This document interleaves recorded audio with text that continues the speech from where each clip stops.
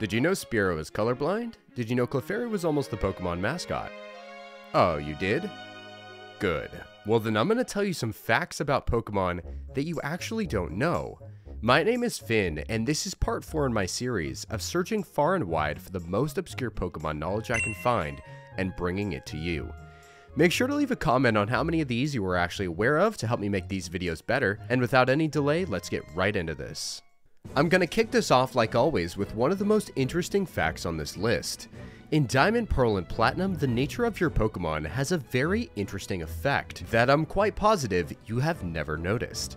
As you're well aware, natures raise one stat and lower another on your Pokemon, or don't do anything at all. Well, if you happen to have a nature that is plus or minus your speed stat, it will affect the speed of your Pokeball throwout animation. It's a little hard to tell, but watch closely. The left is a Pokemon with a neutral nature, and the right is a plus speed nature Pokemon. As you can see, the Pokemon with the plus speed nature completes its animation much faster. Shout out to my friend TC Bronzong who I saw this from on Twitter. By the way, I want to interact with more of my subscribers, so make sure to go follow me on Twitter. Additionally, all the way back in Generation 3, a very similar but hard to notice quirk was added that I bet you didn't catch either. You see if the Pokemon leading your party is a higher level than the wild Pokemon that spawn in that area, the encounter animation will actually be significantly faster. Here's another side-by-side -side comparison. If you have dove into the world of obscure Pokemon knowledge, you might know that in Generation 2, the way shiny Pokemon are determined is different than any other generation, in that they're determined by their actual stats and IVs as opposed to hidden IDs like later on. Well, the original shiny formula actually had some interesting effects on some Pokemon. The Pokemon that were directly affected were any Pokemon with an 88 to 12 male to female gender ratio, such as the Gift Eevee in Goldenrod City and the three Johto starters. Due to the way shininess was determined, for whatever reason, the 12% female versions of these Pokemon could not be shiny whatsoever. No matter how many times you reset your game, you will never find a shiny female starter or Eevee in these games. The Safari Zone. The spot where you spend hours trying to catch low percent Pokemon until you give up or find a shiny one, and it flees and you smash your game cartridge.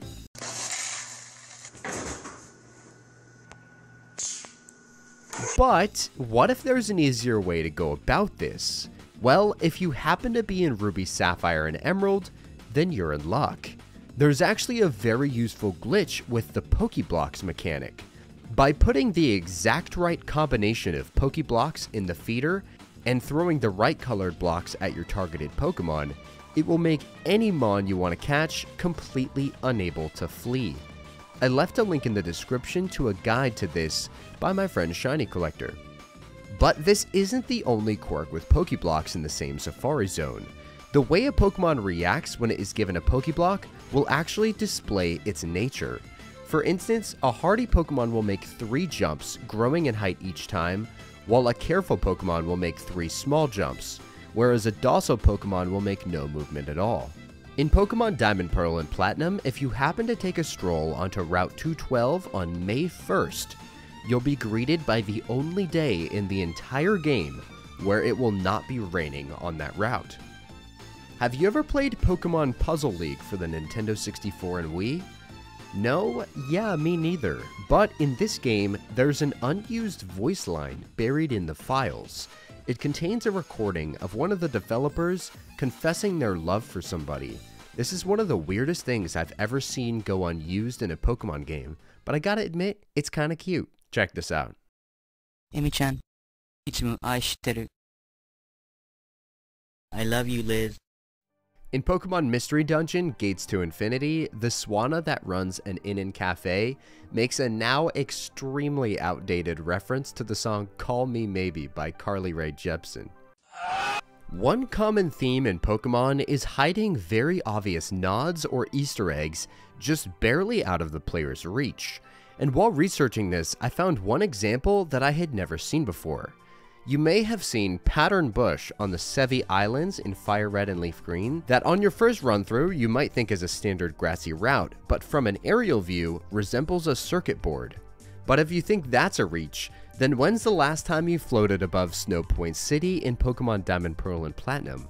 Because you might think twice about every location you go in when you notice this city is designed to resemble a snowflake. Did you know Pokemon and Naruto might have more in common than you think? The move Double Team is actually based on the same idea as Naruto's Shadow Clone Jutsu. In Japan, Double Team is called Kage Bunshin. If you're a goaded sub-watcher, you've heard this term before.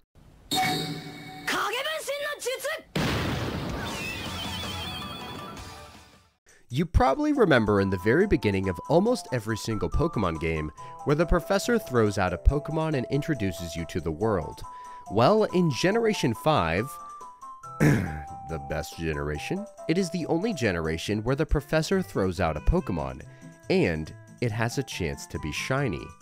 Not just Minccino in black and white, but even the Chinchino in black and white too, meaning this was intended or went unnoticed.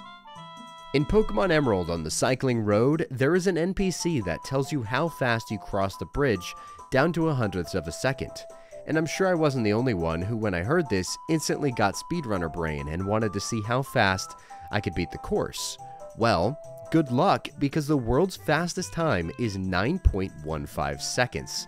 And one day on my Twitch channel, Twitch TV slash BlueBoyPhin by the way, I tried to tie or beat that record. After perfecting the optimized route, I was able to snag a 9.16, but I found out that getting down to 9.15 has to do with some kind of frame rule thing that I know nothing about. But it was really fun, so if you enjoy a good challenge, dust off that Emerald copy and let me know if you can tie my 9.16. If you take a copy of Ultra Sun and Ultra Moon and push them together, you create a picture of Ultra Necrozma. There's an interesting glitch in Sword and Shield regarding Shedinja. If you have a mark or ribbons on your Nincada and then evolve the Pokemon, check Shedinja and it will have none of the ribbons or marks, but interestingly enough, it will keep its title when thrown out in battle as if it still had it. Shout out to Anubis who I found this from on Twitter. On April 27, 2011, a Pokemon distribution event called the Secret Egg event started that lasted for one month. During this month, you could go to any of your local Toys R Us and receive a mystery egg. An egg that could hatch into any of three Pokemon, Pidove, Pansage, or Axew. This event was held to correspond with Ash's, Cilan's, or Iris's Pokemon but what if you could end up with a slightly different Pokemon? So there's a big trend when it comes to most event Pokemon in that they're usually shiny locked. And they are. You see, most event Pokemon can never sparkle or are advertised as shiny and are already predetermined. It's usually pretty cut and dry what kind of Pokemon you are receiving especially after they did away with event Pokemon that took you to whole new locations in game after Generation 4. Also, please bring that back, that was the coolest thing ever. But these Pokemon and a few others are a little bit different. You see, the way shinies are determined in all Pokemon games past Gen 2 is that they have to line up the IDs and personality value of the Pokemon with your own trainer's ID, almost as if there's a secret 1 out of 8,192 match for a Pokemon to be shiny. But these three Pokemon were designed to never be able to match your ID as soon as you receive them. So how could they possibly be shiny? Well, let's say we've received an Axew egg from the event, and even though the Pokemon will never match your ID to be shiny, it doesn't mean that it won't match someone else's. Let's say you trade the egg to your friend, we'll call him Gary. Gary has a completely different trainer ID and secret ID than you do, so the lock that was once applied to the Pokemon no longer has any effect.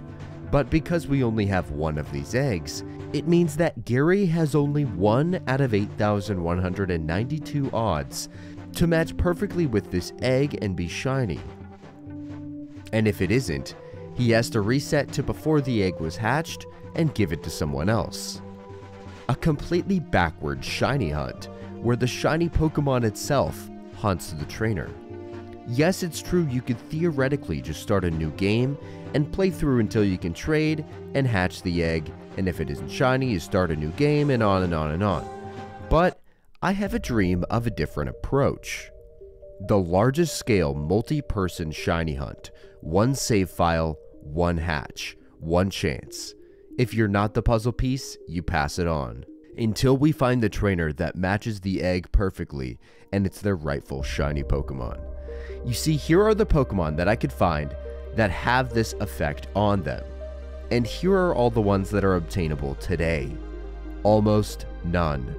Many of which, including our three friends from earlier, have succumbed to the passage of time. But one shines brightly among the rest Manaphy. You probably have heard of the Pokemon Ranger Manaphy egg an egg you could trade into Generation 4 after beating the entire game of Pokemon Ranger. One of the most difficult shiny hunts possible that requires you to do exactly as I explained of starting new save files and trading back and forth. But I'm not here to talk about that sadly because the Nintendo DS Wi-Fi service shut down, so a large-scale shiny hunt like I described would be very difficult. But a few months ago, it was announced that as a pre-order bonus for Brilliant Diamond and Shining Pearl would include, you guessed it, the Manaphy egg.